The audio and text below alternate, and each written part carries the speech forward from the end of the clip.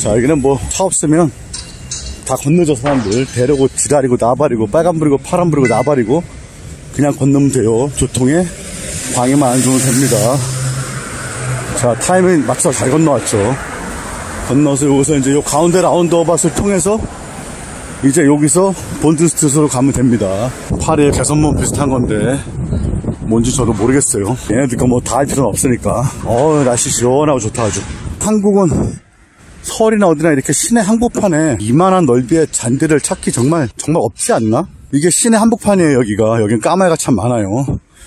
까마귀가 원래 이로운 새고 까치가 해로운 새라고 나왔죠 옛날에 까치가 남의 알을 훔쳐먹지 까마귀가 더러운 거 다 먹고 죽은 거 써는 거 다 먹고 그래서 이로운 새죠 오히려 한국에선 반대로 인식했지 런던 땅의 75%가 이 공원이라니까 작은 거 큰 거 합해서 너무 좋아요 올라가 보겠습니다 위에 central zone 맞네 저쪽으로 하는 거 맞습니다 아 그냥 여기서 넘어갈게요 넘어가겠습니다 이쪽은 그렇게 높지 않아요 언제 돌아가냐 넘어왔어요 자 여기서 내가 온 데지 아 헷갈리네 본드 스트리트 나 물어봐 Excuse me You know where which direction to Bond Street Which direction is so confused We are here Arch Ah yeah absolutely thank you Yeah, it's a long way. Yeah I'll take box here Thank you very much 그쪽이 맞네요 central zone 여기서 건너겠습니다. 차가 참 많이 와.